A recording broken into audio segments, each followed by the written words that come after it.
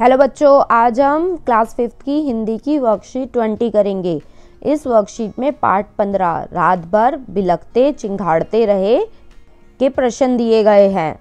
इस पार्ट में हाथियों के बारे में बताया गया है, उनके झुंड के बारे में बताया गया है। चलो अपने शब्दार्थ करते हैं।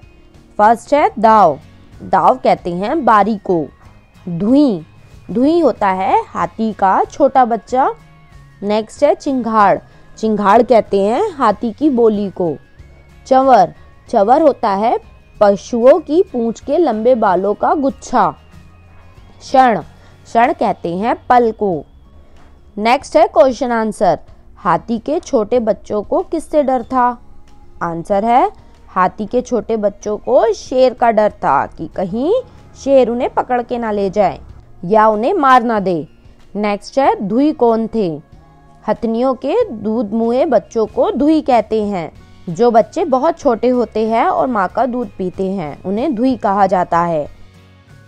नेक्स्ट क्वेश्चन है, एशियाई हाथी और अफ्रीकी हाथी में तीन अंतर बताओ। पहला अंतर है, एशियाई हाथियों की तुलना में अफ्रीकी हाथियों के कान बड़े होते हैं, जिनका उपयोग वे अपने शरीर को पंखा करने के लिए करते हैं। दूसरा अंतर है, एशियाई हाथियों के सिर पर कुबड़ होता है जबकि अफ्रीकी हाथियों में यह काफ़ी चिकना होता है।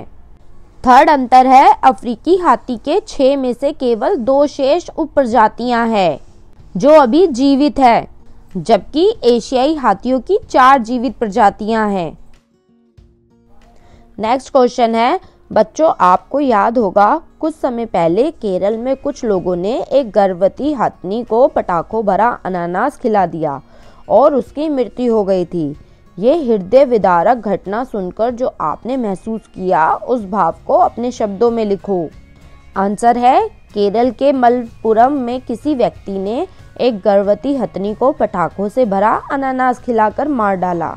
यह उस निर्दोष जानवर की निर्मम हत्या है, जो अपने गुनाहगार के बारे में कुछ बता भी नहीं सकता था। बेजुबान जानवरों पर अत्याचार करने वालों को, लोगों को तो सजा ज़रूर मिलनी चाहिए। नेक्स्ट क्वेश्चन है, संत कबीर के निम्न दोहों को कंठस्थ कर इनके भाव लिखो। संत कबीर के दो दोहे दिए गए हैं। पहला दोहा है, ऐसी वाणी बोलिए, मन का आप खोए औरन को शीतल करे, आपहु शीतल होए। इसका अर्थ है, हमें ऐसी मधुर वाणी बोलनी चाहिए, जिससे दूसरों को शीतलता का अनुभव हो और साथ ही हमारा मन भी प्रसन्न हो उठे। मधुर वाणी औषधि के समान होती है, जबकि कटुवाणी तीर के समान कानों से प्रवेश होकर संपूर्ण शरीर को पीड़ा देती है। मधुर वाणी से समाज में एक दूसरे के प्रति प्रेम की भावना का संचार होता है, जबकि कटु वचनों से सामाजिक प्राणी एक दूसरे के विरोधी बन जाते हैं। नेक्स्ट दोहा है, काल करे सो आज कर, आज करे सो अब, पल में परले होएगी, बहुरी करेगा कब। तो इसका जो भाव है वो है, संत कवि कबीरदास जी के इस दोहे में उन्होंने जीवन और समय के महत्व का वर्णन किया है। कवि के अनुसार, कभी भी आज के काम को कल पर नहीं टालना चाहिए। कबीर के दोहे से हमें जीवन में समय के महत्व का पता चलता है। उनके अनुसार, हमें हमेशा समय रहते ही काम समाप्त कर लेना चाहिए। कभी भी काम को टालना नहीं चाहिए। क्या पता अगला ही पल प्रलय हो जाए। बच्चों, आपको ये दोनों दोहे याद करने हैं, कंठस्थ करने हैं और इनके भाव को समझना है। तो बच्चों, ये थी हमारी क्लास फिफ्थ की हिंदी की वर्कशीट ट्वेंटी। आप हमारे चैनल को सब्सक्राइब करना ना भूलें ताकि आपको आगे भी ऐसी ही वीडियोस मिलती रहें।